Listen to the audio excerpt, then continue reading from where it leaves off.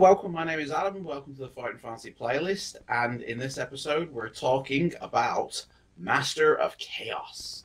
Master of Chaos is the 41st book in the series, and it's the first book of 1990 that was released.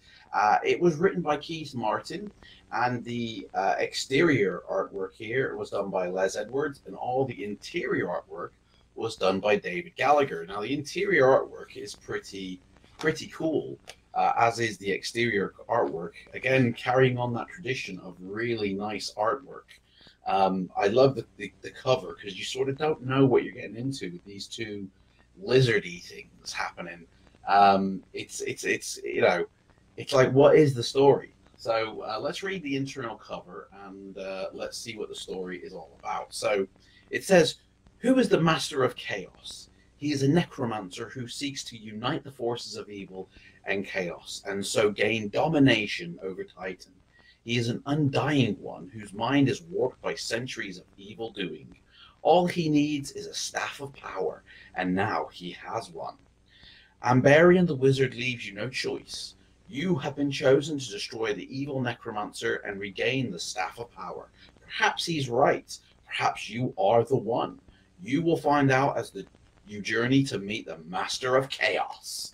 Um, so the story is um, it's pretty unusual in the fact that it's set amongst um, a time of wizards, and you know you're surrounded by wizards, but you're not a wizard.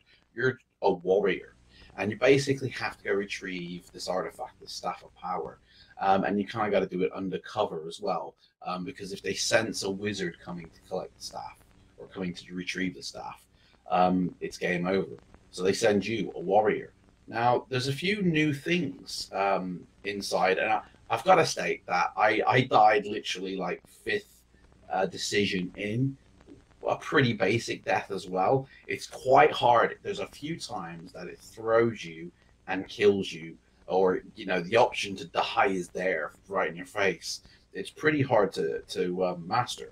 It does have a small magic section, but it you don't, use magic in the book, or I never use magic in the book. But it does go into a lot of detail about like your equipment that you'll be using uh, and your skills. Now, this is another feature that's been added in previous books, but this one is new in the sense that these skills that you're going to be using are specific, you know. So there's six to choose from, and you can choose any three. So you have acute hearing, animal wisdom, blind sight, climbing, move silently, and tracking. So you choose the three you want to use, and they help you in your adventure. And uh, the, the skills, they have a real good detailed uh, list for what that will do and how you'll probably use it in your adventure. Um, I, I never got a chance to use any of my skills because uh, I literally say I was on a boat, a slave boat, where you start off the adventure and um, somebody was getting beaten, and I was like, "Hey, you know," I stepped in, going like, "Don't do that," and then they basically made me walk the plank, bound, and I drowned. They were like, "You know, don't tell us what to do," and they kicked me off the boat, and I died. And it was like, "Oh my gosh, I didn't expect that to happen so early on in the story." Uh, another new feature that they have for the uh, the book is notoriety. Now, this is pretty cool feature, which I, I never got a chance to um, uh, sort of get into because I died early in the story, and I've never read this book. I've never had this book until recently, you know, for doing this video. But notoriety basically is you start off with zero, and as you go into a town or as you go on your adventure, um, your notoriety will go up if you do certain good or bad deeds. And as soon as it hits, like I think it's number eight, your notoriety, you're asked to leave the town and you have to then move on to the next. So it's uh, it's a pretty decent new feature into the Fighting Fantasy uh, books, and inside there is also, if I can find it, a map. Um, this is the the map you get. Usually the maps are printed on here, but for this it's printed there. Um, again, I don't know if this is the final map where you will end up, or if it's the map for the entire book, because you start off on a boat in the water, and I didn't see any water on that map. So um, it is a well written book from what I read.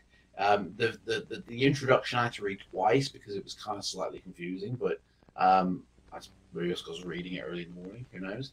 But um, I enjoyed this book for what I read, and I definitely will be going back to it. I do recommend it, especially if you're collecting all of them. You know, it's essential. It's number 41. So we're kind of like halfway through the series now because um, the books go up to uh, 59 is the last of the Puffin released books.